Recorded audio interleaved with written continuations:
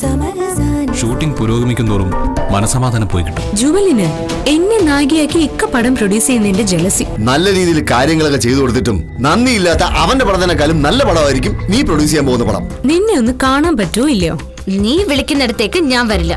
ഞാൻ പറയുന്നിടത്ത് നീ വരണം. കേരള സമാജം ഒരു പ്രവാസി കഥ. ഇന്ന് രാത്രി പത്ത് മുപ്പതിന് ഏഷ്യാനെറ്റിലും പിന്നെ എപ്പോഴും ഹോട്ട്സ്റ്റാറിലും.